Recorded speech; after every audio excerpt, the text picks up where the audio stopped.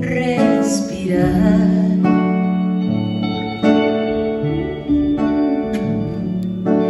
Tengo que partir cargando el llanto que esta historia de tu